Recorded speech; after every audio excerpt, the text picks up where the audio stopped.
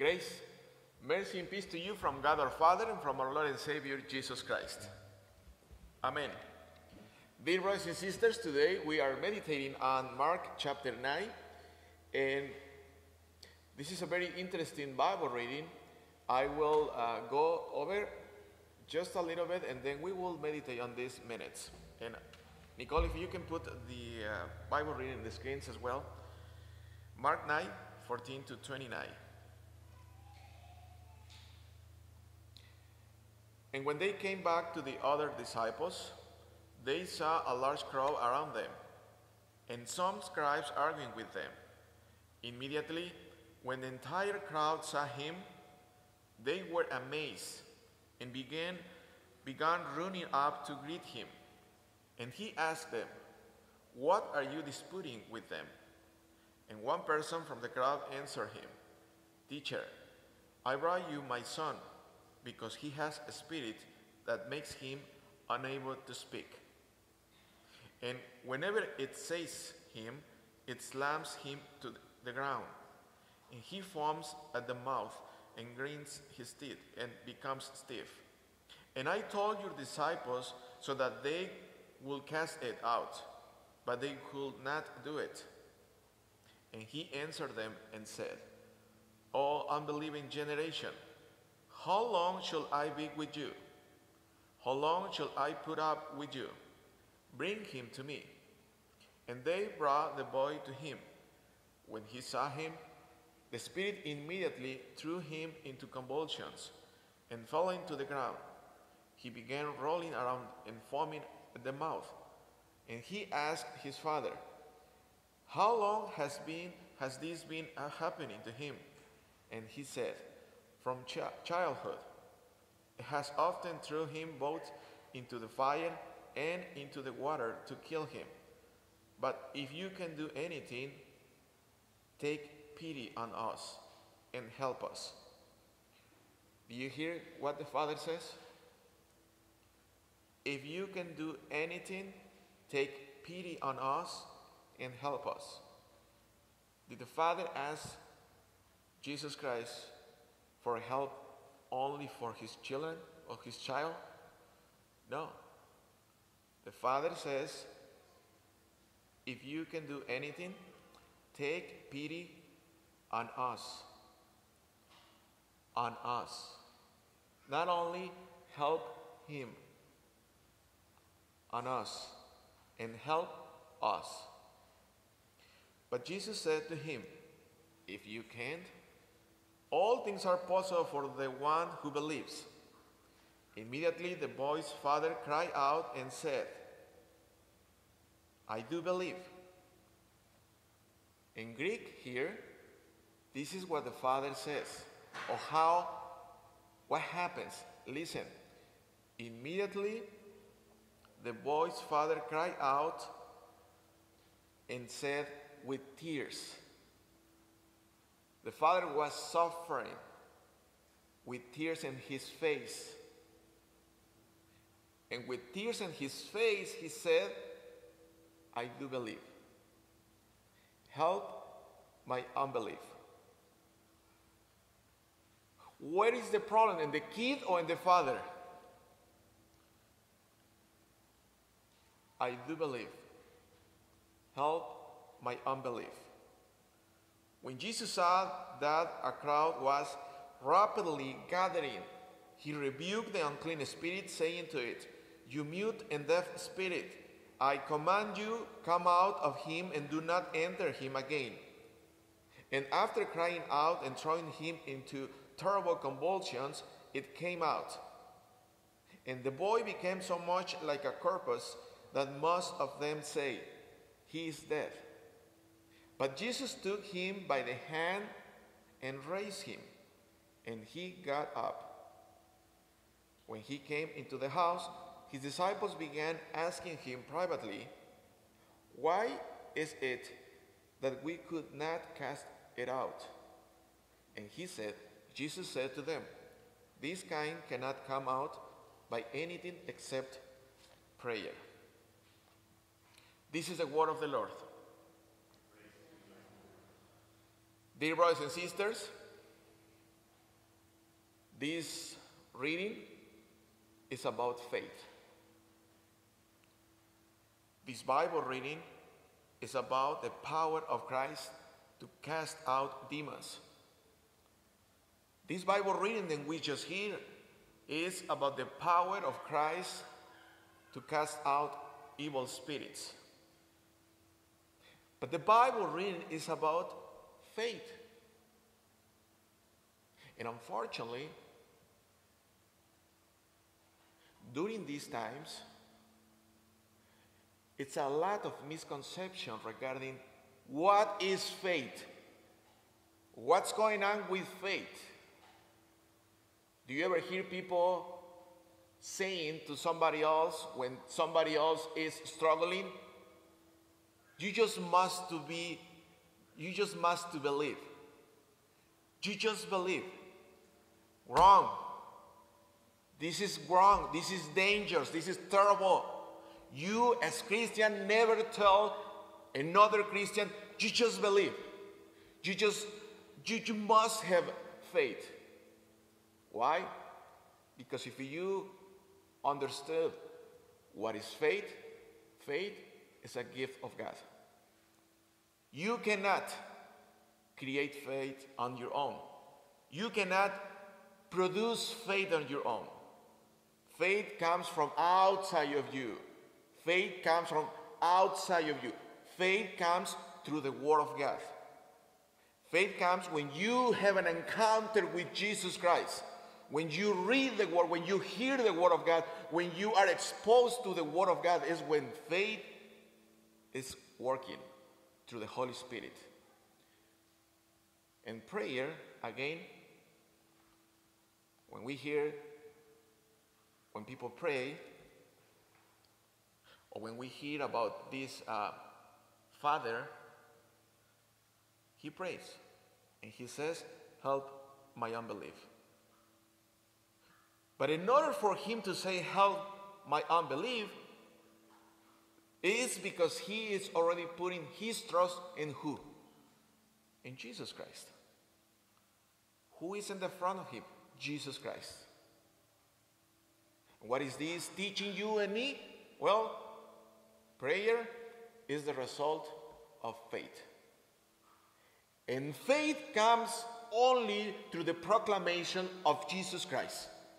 Faith comes only through the hearing of the Word of God, which is what is being happening in this Bible reading. Prayer is the response of faith.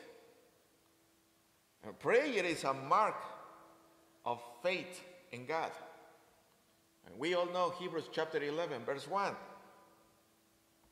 Hebrews 11, 1 says, Faith is the assurance of things hoped for the conviction of things not seen. Hebrews 11:6 also says, "Without faith it is impossible to please God." You hear that?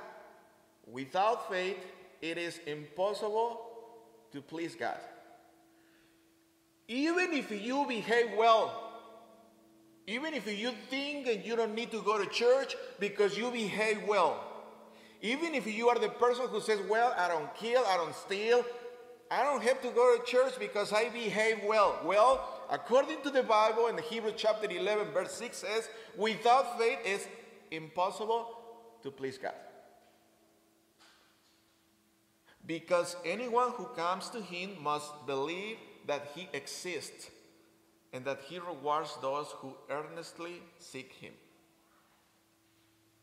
Now, it's very important to know that faith, again, is something, and I'm insisting in this because unfortunately you can see people don't getting it, don't seeing the faith, the gift of faith. Faith is something that comes from outside of you.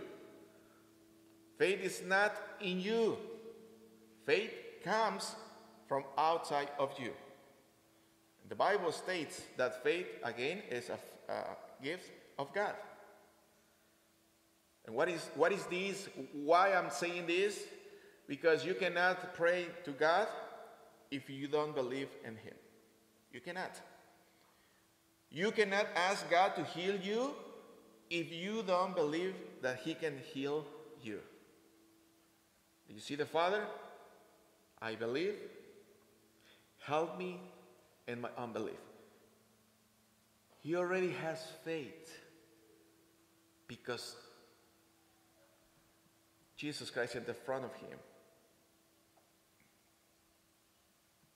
You cannot ask God for help if you don't believe that He can help you.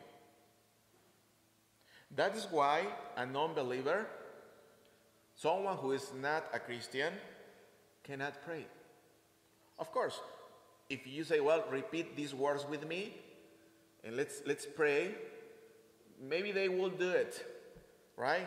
But a non believer, someone who is not a Christian, cannot pray because they don't believe He exists.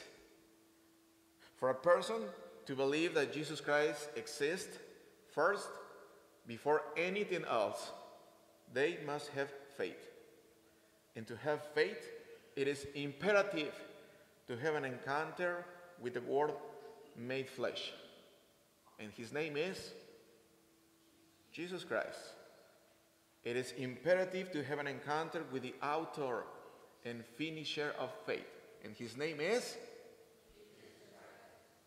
and that is precisely what happens in this uh, biblical text. When Jesus Christ heals this boy from that demon, Jesus Christ cast out the demon that was in that boy. Why? Because Jesus Christ is the only one who can expel evil spirits from your life. Do you agree with me on that? He is the only one Jesus Christ is the only one who can expel evil spirits from your life. Yes, Jesus Christ is the only one who can carry out an exorcism. And by the way, do you know what happens when we baptize? When we baptize children or adults, basically it's, it's an exorcism.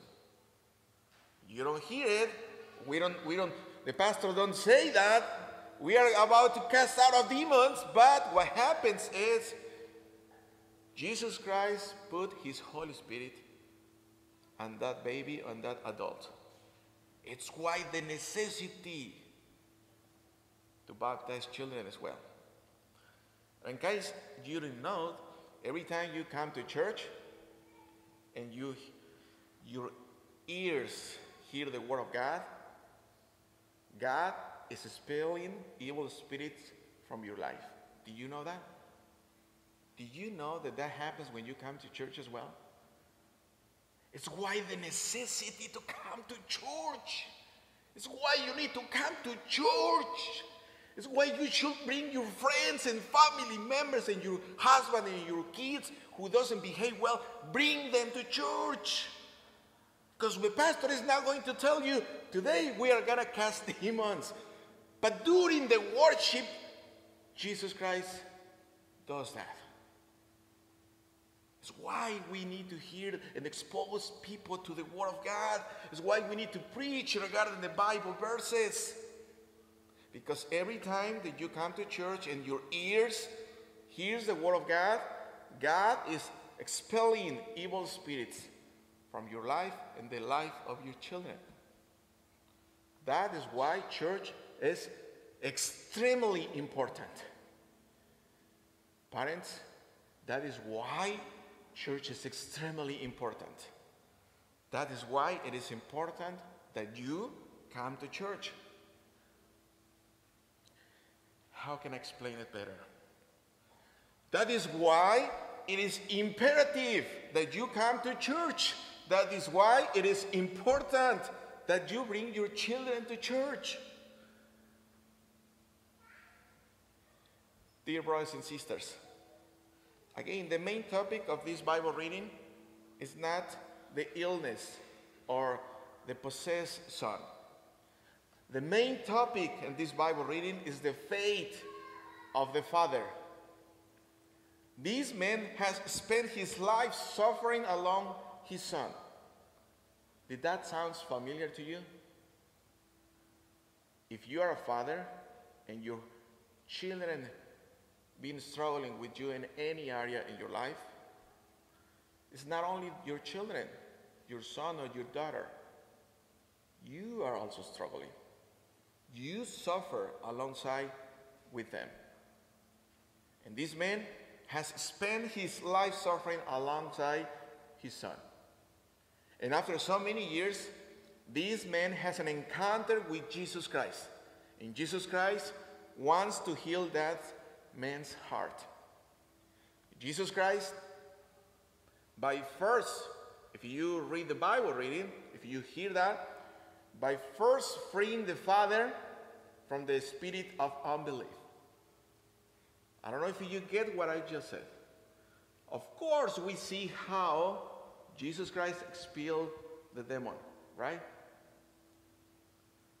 But before Jesus Christ did that, Jesus Christ expelled the spirit of unbelief from the Father.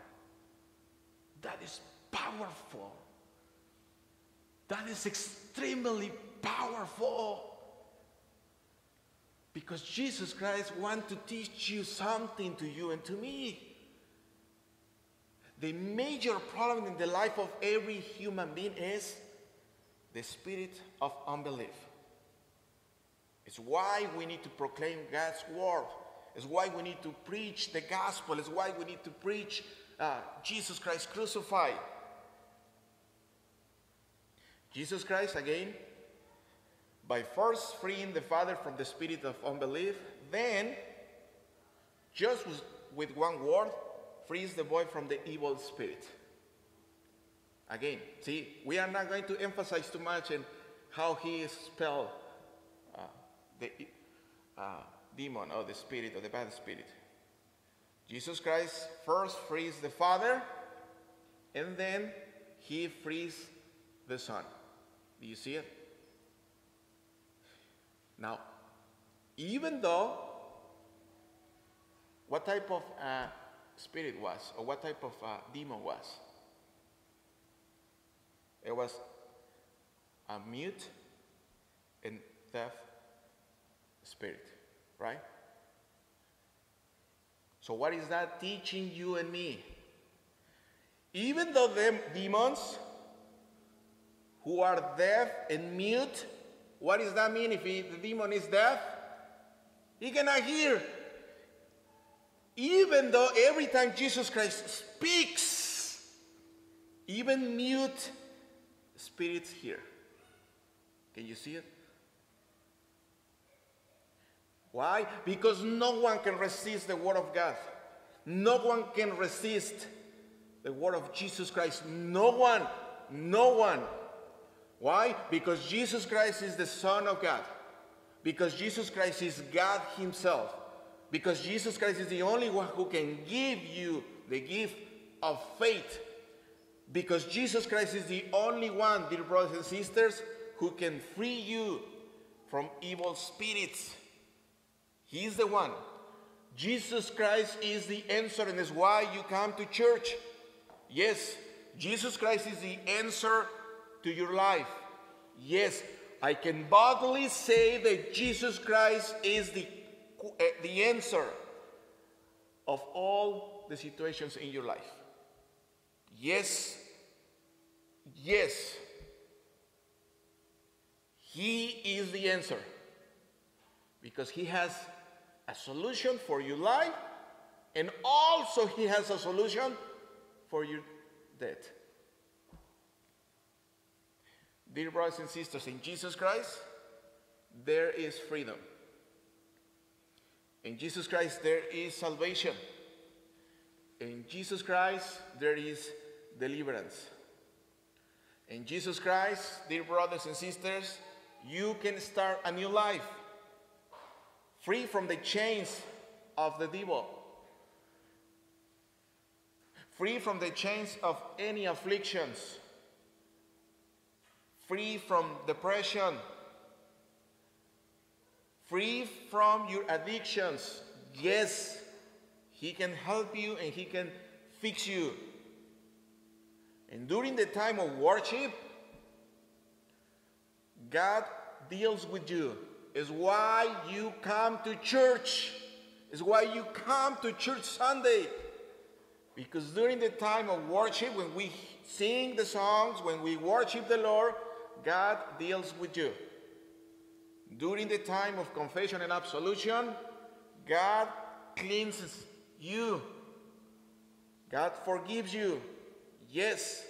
During the time of Holy Communion, God comes to you. During the time of prayer, God listens to you.